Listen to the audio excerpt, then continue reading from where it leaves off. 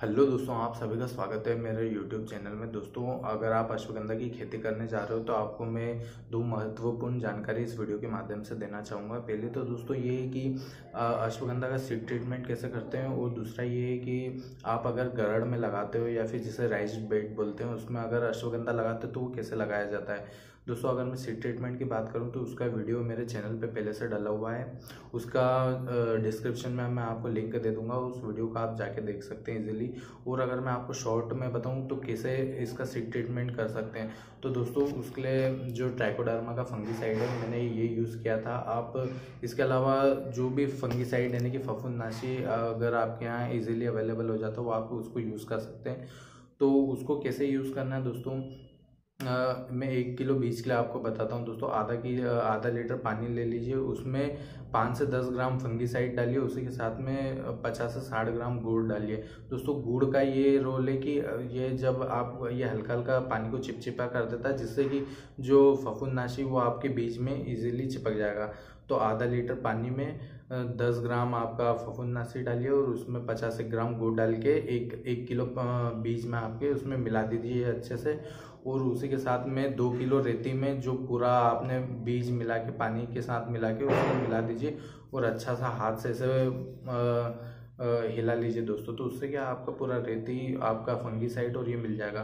तो दोस्तों, फंगीसाइड जो है वो एक ऑप्शनल है, अगर आप मिलाना चाहते तो कर भी सकते हैं या फिर नहीं भी।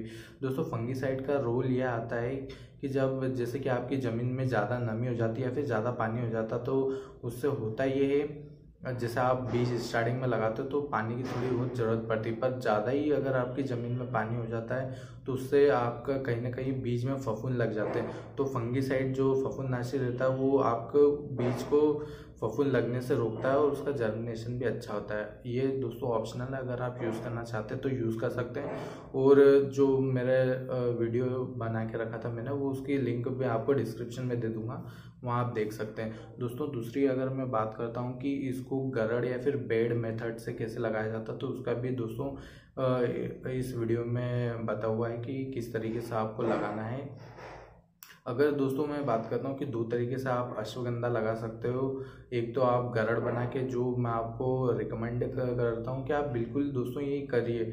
मैं आपको ये विधि बोलूँगा कि अगर आप कर रहे हो अश्वगंधा तो दोस्तों गरड़ से लगाना सबसे अच्छा रहता है। दोस्तों, उसके बहुत सारे फ़ायदे जो आने वाले वीडियो में आपको बताऊँगा। दूसरी, दोस्तों हाँ एक छिड़काव विधि है, उसका भी मेरा वीडियो डला हुआ है चैनल पे, उसकी भी लिंक डिस्क्रिप्शन में दे दूँगा। दोस्तों ये आपके ऊपर है कि आप छिड़काव विधि से अश्वगंधा बोना चाहते हैं या फिर गरड़ से।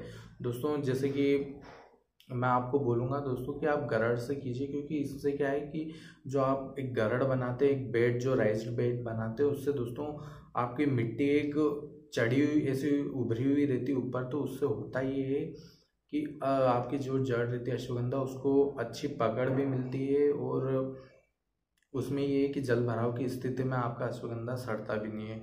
तो दोस्तों, वो दोनों काम रहता है। उसका फ़ायदा बहुत सारे हैं, जो मैं आपको आने वाले वीडियो में बताते जाऊँगा। अगर आप ऐसे छिड़का विधि से करना चाहते हैं तो उसका भी वीडियो मेरे चैनल पर डाला हुआ है।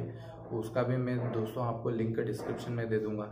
दूसरा दोस्तों, जो मैंने आप गरड़ विधि से बताया है, गरड़ विधि में दोस्तों आपको किस तरीके से लगाना है, आपको एक गरड़ बनानी रहेगी, उसके अंदर जैसे जो मैंने वीडियो डाला हुआ, उसमें एक गरड़ बनाते जाते हैं और उसके साथ में पीछे मिट्टी भी हल्की हल्की चढ़ानी पड़ती है, एक या फिर दो इंच के समथिंग तो उसमें जैसे आप हाथ से भी चढ़ा सकते हैं, या फिर कुछ झाड़ू लेके भी कर सकते हैं। बस हल्की हल्की मिट्टी चढ़ानी रहती दोस्तों।